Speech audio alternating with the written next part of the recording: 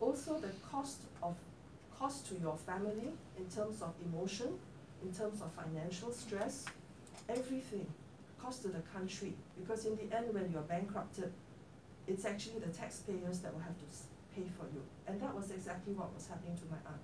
All her hospitalizations in Changi Hospital were paid for by tax dollars because she was deemed to be um, eligible because she didn't have enough income. Uh, but when we had to put her in a private home, uh, the wait time for a government nursing home was very, very long. And um, the, the private little uh, talk I had with the medical social worker told me that, mm, don't go there okay, yeah. But I think the private one wasn't much better, okay? So what alternatives are there? Okay, everybody's going to get old. What else, what can you do about it?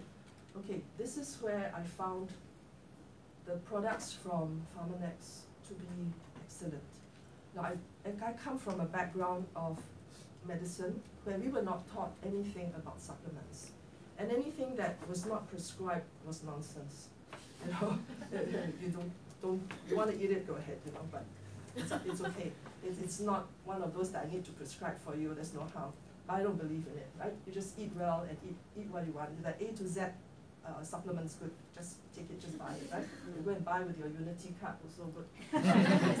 so anyway, when I started on Pharmanex products, then I found that, yes, this is a company that actually did a lot of science in whatever they were producing. And because of the science that they are doing now, they actually have the edge in this anti-aging uh, products. It's not about living forever or looking good, but it's your quality of life. So this is one possibility to consider. Now, they are based, I find the company, it's based on good, credible scientific evidence. Uh, what they do is very transparent, it's all uploaded, and they're very ethical in the way they treat their employees, their distributors, as well as um, the society at large. And that's what I found quite admirable. Okay, I mean, if you are wanting to make a profitable company, the bottom line is still profits. So why would you try to uh, be nice to everybody if it's going to cut into your profits? It doesn't make any sense, right?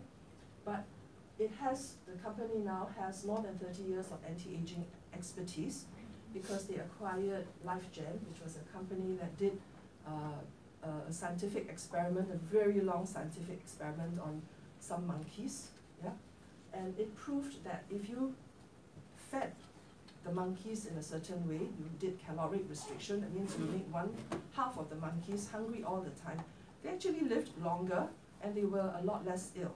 Whereas if you fed them, you know, like buffet every day, mm-hmm. just like what we do in Singapore, right? They ended up with a lot of chronic diseases. And I found that for Pharmanex, they actually adhered to a 6S, they call it 6S process, but it is the same steps that a drug company would use to produce drugs. So everything that is a level of substantiation, standardization, and safety. Okay, it's not going to be this month's medicine is going to, or this month's supplements going to vary from next month, and maybe they're going to change their, their uh, source of production or their source of materials. But I can pretty much feel very confident that whatever I'm eating or whatever I recommend my friends or my family or my patients that that amount of active ingredient is going to be there. I don't have to second think it. Yeah? And they have their own research. They do their own research, and that's their center in Utah. But that's not the only one that they have. They also have this scientific advisory board, and all the research is led by scientists. And not only that, the scientists actually have veto rights. Now, what company does that? if you employ the scientists and you pay them a good enough salary, obviously. If they come up with something fantastic that you can market, you just want to turn a profit. You don't care how it's going to be used, and your scientists really have no choice, because whatever their research is is the company um, company uh, right. Yeah, it is information that was derived and it should belong to the company. But each and every one of their scientists have a veto right. So if they find that in the work that they had done, they did not agree with the way the company was merchandising it. They had a right to pull the plug. Now that could cost the company actually millions of dollars. But this company gives all their scientists veto rights, and that I found was quite amazing. These are the other uh, research centers, innovation centers that they have. The main one in Utah started, then after that they also developed in Shanghai and Beijing. No matter what, I think that the, the um, cost of production, you cannot fault that it has to be in China. So I'm very, one of those that's very hesitant about taking anything from China. I'll tell you the truth. But if they are going to substantiate and make sure that the safety level is there, I can, I can trust that part. Yeah. Now this ageLOC science that they came up with, what is it about? They came up with this where this little gene chip, each little square, this each little pixel is actually one single gene. And the green colors are actually genes which are not being expressed, and the red ones are being super hot. They're being expressed. And what they did when they when they had this technology, then they could actually see how the genetic pathways were working. It's not one gene, one disease. It's actually a pattern of genes that will result in our body. How we appear, how our body functions, it's going to be a pattern of genes. And with this heat map, and with that 30-year-old study, they could see how the aging process had affected monkeys of the same age. Run the same blood, different result. The monkeys who were e eating buffet, their blood looked, a lot of it had gone, gone quiet, right? And all the bad things that were not supposed to be expressing were actually expressing. And the monkeys that were starving all the time, looking dreadfully hungry, they actually were young in their genetic expression. And therein lies the science. Yeah? So they, would, they were able, therefore, with these gene chips, to run this through mice, because mice don't live as long as monkeys, thank God. and they fed the mice, and then they compared the mice, you know, the blood of the mice, to see the biological state. So if they fed the monkey, uh, the sorry, the mouse, with a certain product, and after that they ran the blood, they could see the activity, whether it would affect the set of genes that they were interested in looking at. So whether the set of genes were epigenetic expression, that means genetic expressions of either the skin or maybe of um, the weight, fat, skeletal muscle uh, building, they could do it this way. So now they had a lot of data, and from that data, they would start to produce supplements. And using this science, they have come up with a wide array. Almost every two years, there's always a launch of a new product, a new product, and a new product.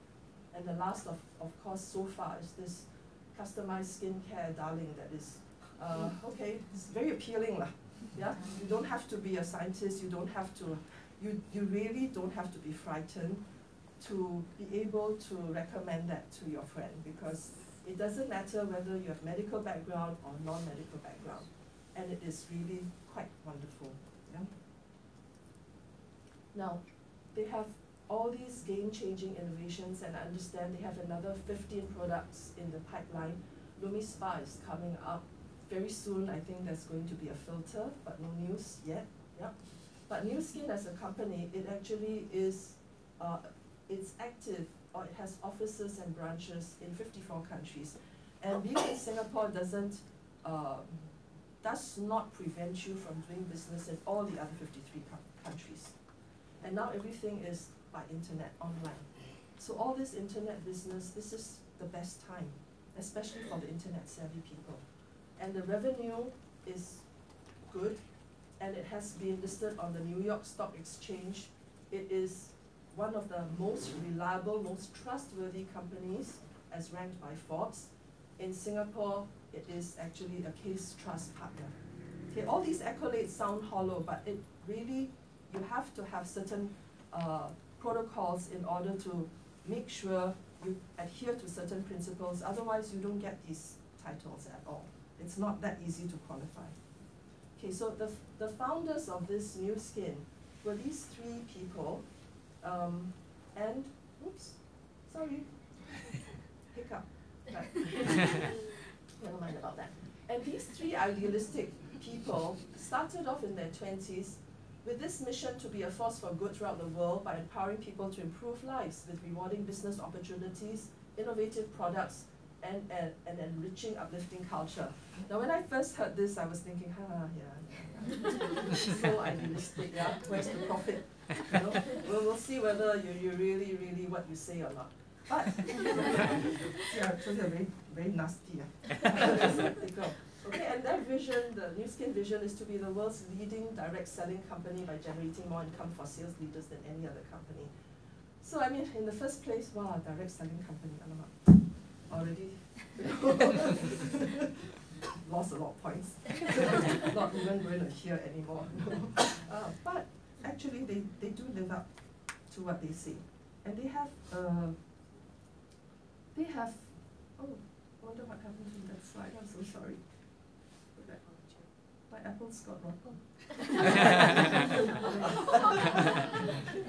Hardly listing apples, huh? Uh, they have guidelines. They have guidelines that protect the distributors, guidelines that protect the customers, guideline that protects the company. And all this is actually so that in the name of fair play and in the in the name of being transparent. And these are the rules that everybody in who, who does Nu Skin will have to obey. Because these are good guidelines. It prevents unethical behavior. Mm. Right? And not only are they ethical in their business, they also do things uh, okay, so this one is to protect consumers, distributors, as well as the company. But they also have a culture of helping society. Mm. And this comes out of, I mean, they don't have to do it. Mm. They can just take their profits and go sailing around the world, have a couple more, you know, jet, private jets, why not? You know, buy an island or two, why not? but they actually put back, they plow back the profits and they do um, charity work or they do work for other humans. Mm. Other humans who are not so blessed, other humans who are deprived and who are not as lucky as you and me. And